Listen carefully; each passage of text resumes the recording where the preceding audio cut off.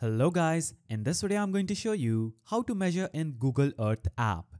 So, in order to do this, first of all, navigate to your Google Earth application. After opening the application, you will see this interface. Now, this is Google Earth's globe. So, in this globe, what you'll have to do is simply scroll and navigate to the part where you want to measure the land.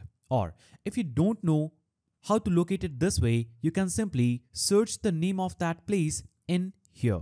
For example, I will search Texas.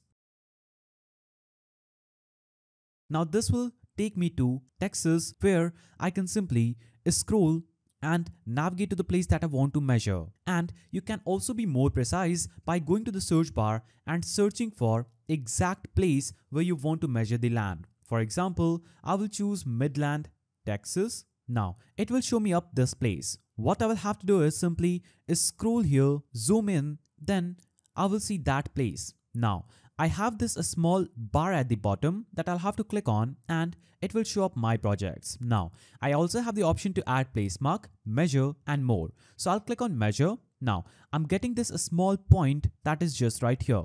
I'll have to just place this point anywhere at the corner that will be my starting point. For example, I will choose this piece of land. I will add this starting point right here. I will zoom in, then I will click on this add point button at the bottom. Now, this will bring up a small pointer that I will have to scroll down to other part of the land. Now, I'll put this point at other end of this land. Now I'll click on add point. And as you can see, I've drawn a straight line from point A to point B. Now, I'll have to scroll to the third part of the land that I want to measure. I can zoom in to get more precise. Click on add point. I can also add a curvature like this. Now, I will take this pointer to the other end that is fourth end of this plot. So, I will take it here and I'll click on add point. Now I can scroll to the right and I will and what I'll have to basically do is navigate back to my starting point and it will show up an option to close shape. I'll have to just click on the close shape button and it will instantly show me the perimeter of that area. So click on the perimeter icon and as you can see the perimeter has been copied to my clipboard. It is 747.71 meter. Now, if you want to know the exact measure of the area, you will see just below. This area is 25,729.88 meter square.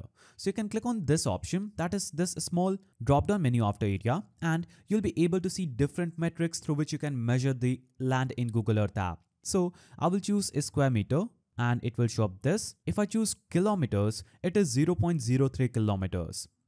I can also do this according to square feet. I can also choose 3D and see the land in 3D view here. So you can do the same with any piece of land on the Google Earth map. What you'll have to do is zoom in to the place that you want to measure. Then simply click on this small bar, choose measure, select a starting point, click on add point, add second point, add the third point, add the fourth point. You can also add more than four point and you can also make a curve using this method. Then take the a small circle to the point where you started, then click on close shape and the exact measure of that area will appear at the bottom where you can also choose different metrics available.